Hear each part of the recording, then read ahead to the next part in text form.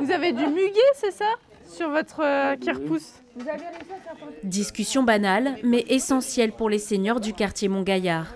D'une partie de Triomino au rempotage d'Azalée, ces ateliers sont une occasion de plus pour tromper la solitude. C'était aussi de les sortir de chez eux euh, et puis de, leur faire, euh, de les faire se rencontrer entre eux. Euh, Il y a des liens qui se sont créés, des gens qui se retrouvent en dehors des ateliers, qui se retrouvent une fois par semaine pour euh, boire un café ensemble, discuter, aller, aller faire leurs courses ensemble. Pour cette troisième édition, six jeunes en service civique sont venus se prêter au jeu, un moyen pour eux de rompre les barrières générationnelles. Moi j'ai du mal un peu à aller vers les gens et donc bah, j'ai envie de me pousser au-delà de mes limites et d'aller vers des personnes vers qui j'ai pas l'habitude d'aller, vers des personnes âgées. Et généralement, ouais, ce sont des personnes assez isolées, qui parlent peut-être plus à leurs enfants, qui sont renfermées chez elles, qui osent pas trop sortir. Des fois, on a des personnes qui sont en dépression. Une solitude, souvent pesante, comme pour Maude, veuve depuis six ans. C'est très dur de vivre tout seul. On n'a pas le moral.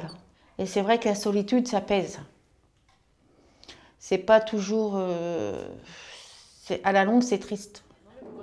Participer à ces ateliers lui permet de sociabiliser, chose que la retraitée a du mal à faire seule. Une fois par trimestre, elle peut sortir de son quotidien. Ah bah ça me procure du bonheur. Je suis heureuse de pouvoir partager des choses avec les autres personnes, de parler. euh, Il n'y a pas d'âge pour avoir du bonheur. C'est pas parce qu'on arrive à un certain âge, euh, on a le droit au bonheur comme tout le monde.